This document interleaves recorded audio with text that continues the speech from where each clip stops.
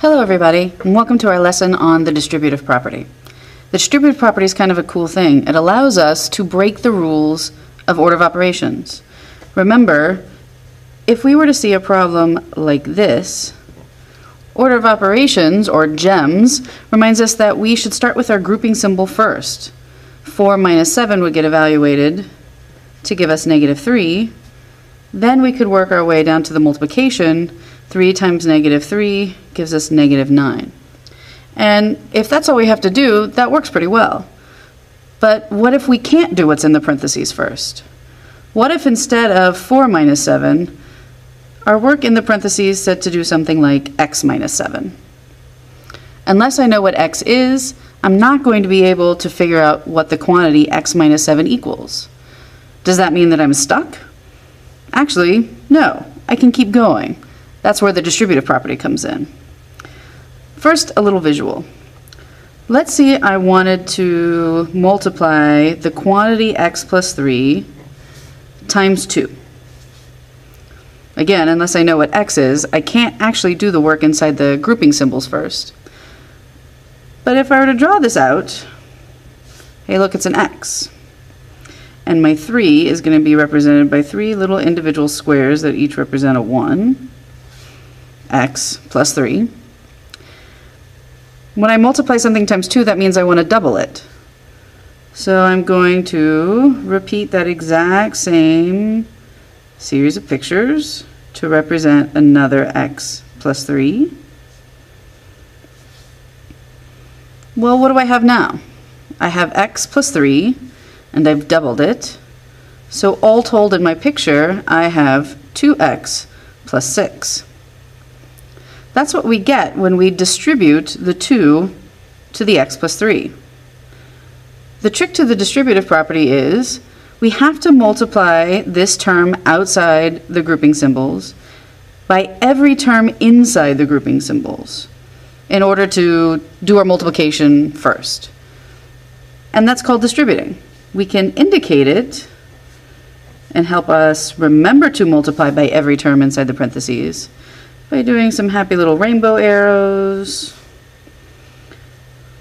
We have to multiply the x times 2. We have to multiply the 3 times 2. So algebraically, now we can see where we get 2x plus 6 from. Now that we've seen that example, let's go back to the original problem I posed and see if we can apply the distributive property there.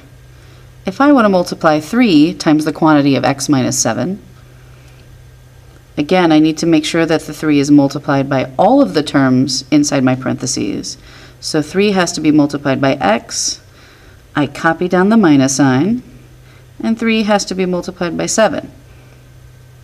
3 times x gives us 3x minus 3 times 7, which is 21. So now I've simplified that with the distributive property. What happens if there's more than one variable in the expression that I'm trying to distribute? Maybe I have something like k times the quantity k plus 1. Again, make sure to distribute k to all of the terms inside the parentheses. So this k will be multiplied by this k, and this k will be multiplied by 1. What happens when I multiply k times k? Well, any value multiplied by itself can be represented as that value squared. So k times k gives us k squared. Plus k times 1 gives us 1k, which hopefully we remember is the same thing as just letter k. All right, now it's time for you to try. On your paper, you need to do these three problems now. You don't see three yet, but please put a triangle around do now number one. Here are the three problems I would like for you to do. Let's see how you did. 12 needs to be multiplied by x and by 4. 12 times x is 12x, and 12 times 4 is 48. For letter B, Notice I'm still drawing in all of my arrows and rewriting it, just to make sure I don't leave anything out. x multiplied by itself is x squared. x multiplied by 5, well, a letter and a number multiplied together, we know that that coefficient has to come first. So we get 5x. Last but not least in this set of examples, 2n multiplied by n, and I copy down my minus, 2n times 9. Squeeze that in on the edge of my paper there. 2n times n, well, n times n is n squared. Since it's also multiplied by a 2, I get 2n squared. 2n times 9, 2 times 9 is 18, times n. So 2n squared minus 18n. How'd you do? Okay, stage two of our notes. Let's talk about three common errors that people make when they're distributing. One, they might make a mistake in their exponents. Two, they might not distribute to every term in their parentheses. Or three, they might make a mistake with their plus and minus signs. Let's first talk about category number one, a mistake in exponents.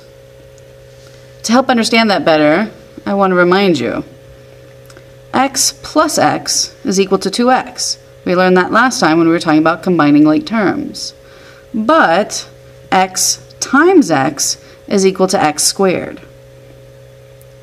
That's an important difference to note, especially since we just finished a lesson where we were talking about you can only add or subtract terms if they are alike meaning they have the same variables to the same powers.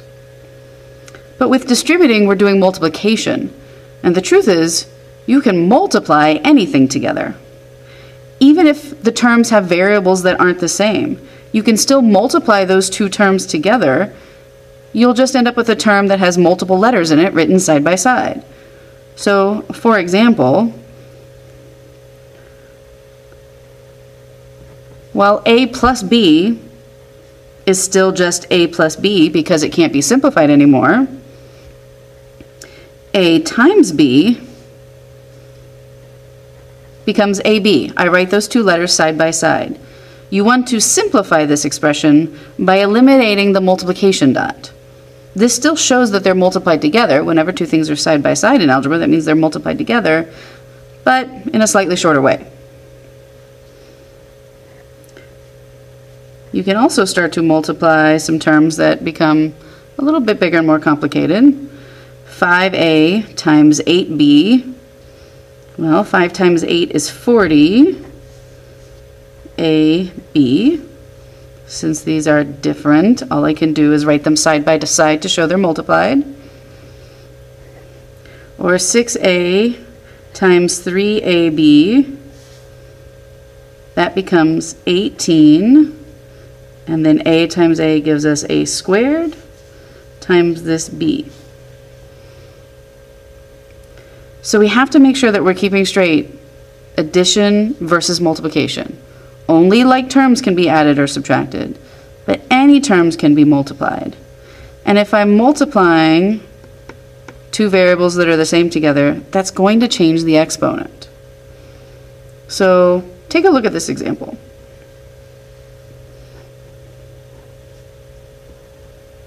X multiplied by the quantity of 3x plus 4y. If I were to distribute in this case, x multiplied by 3x gives me 3x squared. x multiplied by 4y gives me 4xy.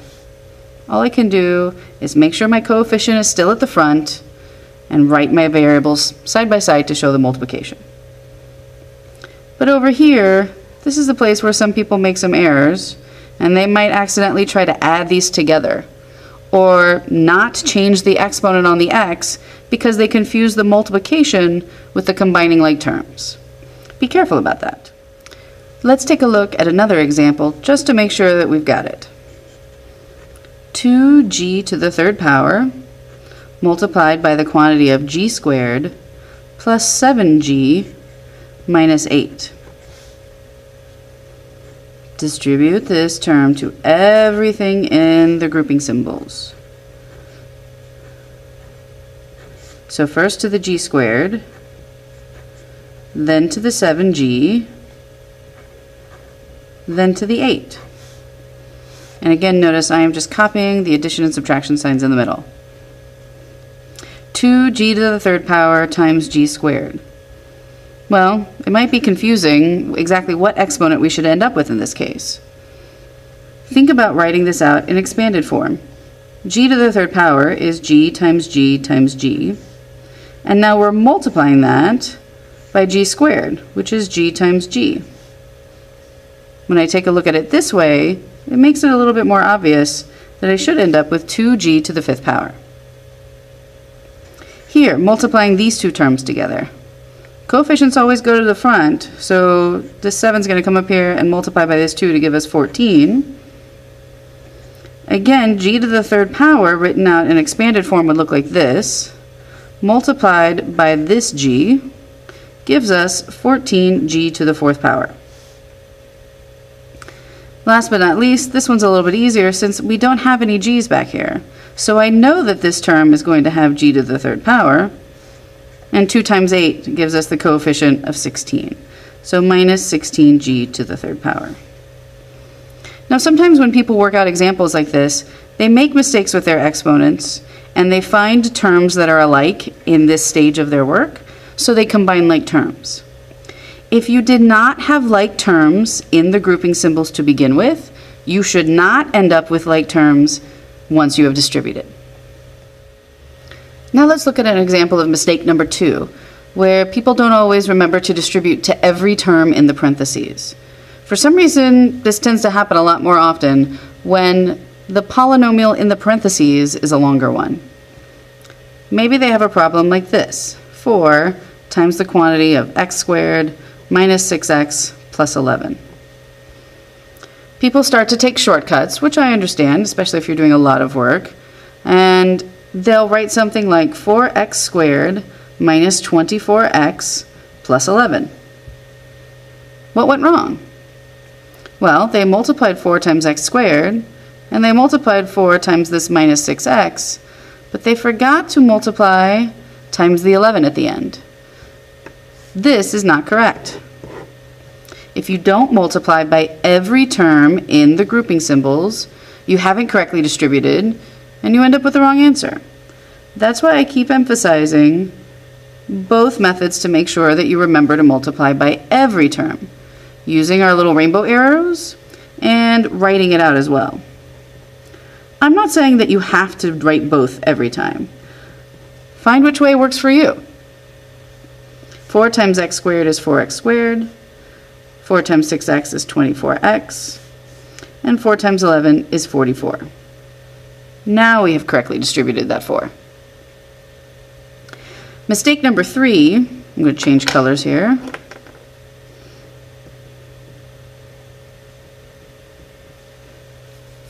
was making a mistake with your plus and minus signs. That's pretty common. So far, all of our distributive property work has been pretty easy, because the term that we've been distributing has always been positive. So it's been very easy for us to copy our plus minus signs from within the grouping as we continue our work. And as long as this monomial out in front of the parentheses is positive, you can keep doing that. But we won't always be so lucky. Let's try something like this.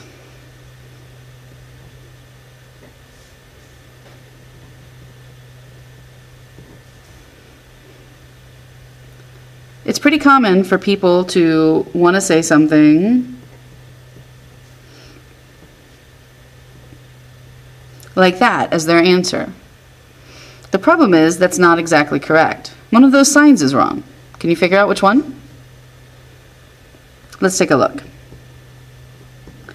If I'm going to multiply using the same procedure I've done so far, I would need to multiply negative 3 times 4x, copy my subtraction sign, and then multiply negative 3 times 15. That is indeed equal to negative 12x, but I get minus a negative 45, which we know should be simplified to plus 45. There are a couple of things you can do to help yourself avoid these problems with plus and minus signs. One way you can avoid the issue is when you see that you have a negative term out in front of the group to be distributed to everything inside the parentheses. Change your subtraction signs to adding the opposite. That way you'll know every sign that you have to write down should be a plus sign and all you'll have to do is pay attention to whether the products should be positive or negative.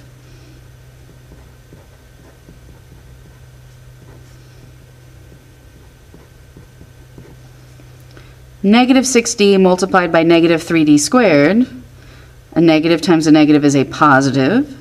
6 times 3 is 18. d times d squared, that's d to the third power.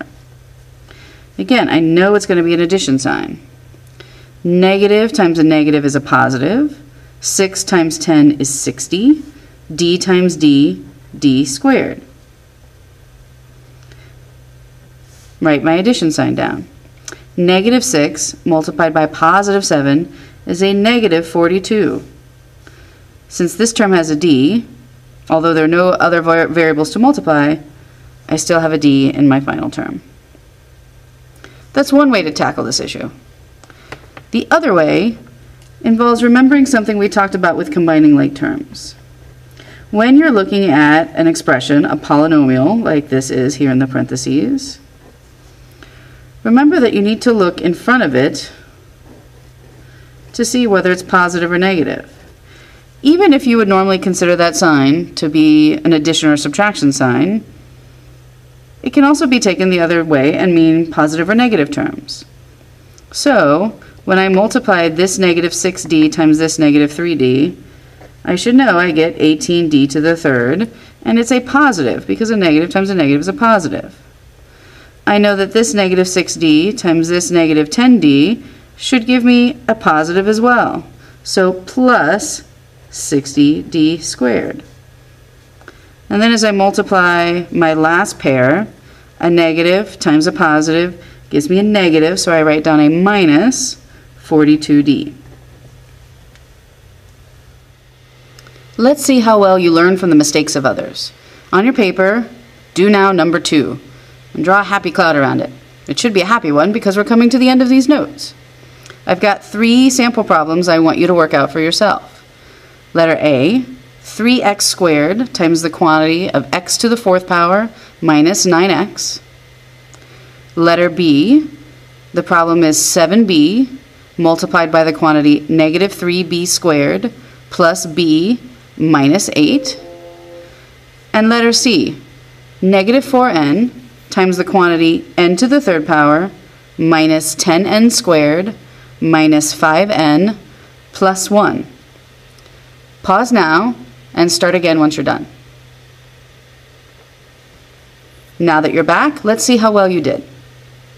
I need to multiply 3x squared times x to the fourth and 3x squared times 9x. I'm copying down my minus sign. 3, no coefficient over here, I still have a coefficient of 3. x squared multiplied by x to the fourth is x to the sixth power minus 3 times 9 is 27. x squared times x, x to the third power. There's our answer. For problem B, make sure that 7b gets multiplied by every term in the parentheses. Whoops, I started to write the wrong thing. It's another reason why it's good to write this out.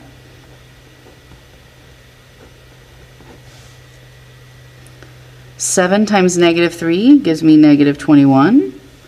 b times b squared is b to the third. This becomes 7b squared.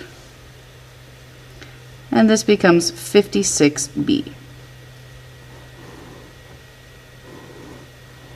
Again, if you do this math and you see two terms that are alike, you need to go back and double check your exponents. Since we did not start off with like terms in the parentheses to begin with, we should not have like terms in our answer in the end.